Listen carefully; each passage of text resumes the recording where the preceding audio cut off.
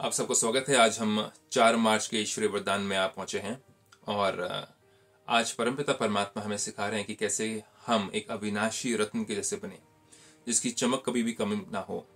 और ये करने के लिए हमें सबसे मुख्य है परमपिता परमात्मा का सहयोगी बनना। वो बनते कैसे हैं? आज इसके बारे में हम सीखेंगे यहाँ पर। तो परमात्मा कहते हैं अपने शब्दों में, सदा स्नेह और सहयोग द्वारा, सदा स्नेह और सहयोग द्वारा, स्नेह की शक्ति बहुत इंपॉर्टेंट है इसमें। क्योंकि सहयोग देते समय कभी कभी हम सिर्फ़ कुछ रिटर्न में चाहते हैं तो वो स्नेह के बिना हो जाता है, वो मतलब ही हो जाता है। लेकिन स्नेह और सहयोग जब साथ में होते हैं तो इसका मतलब हम देने वाले होते हैं, हम लेने वाले नहीं। अविनाशी रत्न का टाइटल प्राप्त करने वाले अमर भवा, अमर हम आत्मा स्वरूप में आकर के जो कर्म करते हैं, वो हमें अमरता के स्वरूप में ला देता है। और जो हम दुनियावी कर्म करते हैं, वो सब कुछ तो छोड़ के जाना है। तो उसमें कुछ अमर की बात तो हुई नहीं।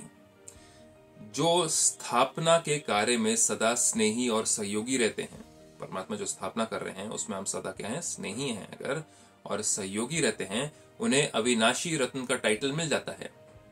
कैसे अविनाशी? उनके मन में हमेशा ये चीज़ चलती रहेगी कि मुझे अपने आप को परिवर्तन करना है, क्योंकि मेरे परिवर्तन के द्वारा ही मैं परमात्मा को सहयोग दे रही हूँ आत्मा, या दे रहा हूँ आत्मा। तो स्व परिवर्तन से ही परमात्मा की मदद हो रही है। तो इसलिए हम क्या हो जाते हैं, हमें अमर भव का टाइटल मिल जाता है और अविनाशी टाइटल मिल जाता है। क्या अविनाशी? हम जब चेंज करते हैं अपने आप को, अपनी कमी कमजोरियाँ हटाते हैं तो हमारे अंदर खुशी होती है, शांति होती है, सुख होता है, आनंद होता है, पवित्रता होती है। आप सोचिए, आपने क्रोध को कम कर दिया अपने जीवन में, अहंकार कम कर दिया। आपने अपने जीवन में भौतिक आनंद की जगह परमात्मा का आनंद लेना शुरू कर दिया तो ऑटोमेटिकली आप धरती पे बोझ भी कम हो जाएँगे, आपके लोभ भी कम हो जाएगा तो ऑटोमेटिकली धरती पे बोझ होना कम होगा। आपको अहंकार नहीं आएगा, आपको ईर्ष्या नहीं होगी तो आप वाइब्रेशंस कैसे फैलाएँगे?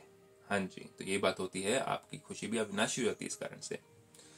ऐसे अविनाशी रत्न जो कभी कोई भी हिला, कोई भी हिला ना सके। कैसे अविनाशी रत्न? जिनको भी कोई भी कभी हिला ना सके।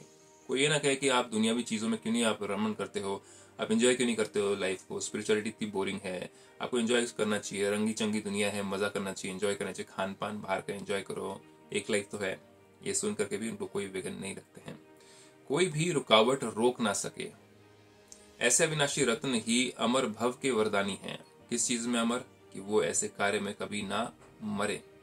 मतलब कि वो इस कार्य को कभी छोड़े ना। वो सदा ही अपने आप को परिवर्तन और परमात्मा के इस जो अविनाशी कार्य का जो कार्यक्रम चल रहा है, उसको भी आगे लेते जाते रहे। रियल गोल्ड हैं, क्योंकि वो अपने आप को मोल्ड कर लेते हैं हर सिचुएशन में। बाप के साथी हैं। बाप मतलब परमात्मा पिता।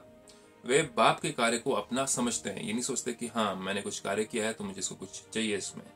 मैंने ये किया, मैंने वो किया, मैंने ये सेवा करी। नहीं, वो सोचते हैं कि मैं परमात्मा का कार्य कर रहा हूँ। जैसे कि बच्चा अपने पिता का कोई कार्य करता है तो ये नहीं बोलता कि मुझे रिटर्न में क्या मिलेगा।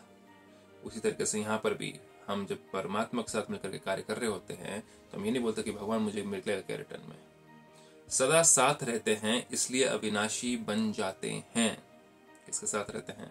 परम पिता परमात्मा के साथ रहते हैं और उन्हें अपना साथी बना करके हर कार्य उनका करते जाते हैं। और वो टेंशन में रहते हैं कि मेरे से कुछ गलती ना हो। तो वो अविनाशी बन जाते हैं। क्या अविनाशी खुशी होती है? अविनाशी शांति, शक्ति होती है उनके जीवन में। ये सारी चीज़ें सिखाई जा रही हैं आपको ब्रह्मा कुमारी इस गॉडली स्पिरिचुअल यूनिवर्सिटी में, जहाँ पर आप जा करके इस विद्या को ले सकते हैं और अपनी खुशी को भी अविनाशी और परमात्मा के साथी बनकर के इस दुनिया को परिवर्तन करने में आप आगे बढ़ सकते हैं। ओम शांति इसके साथ।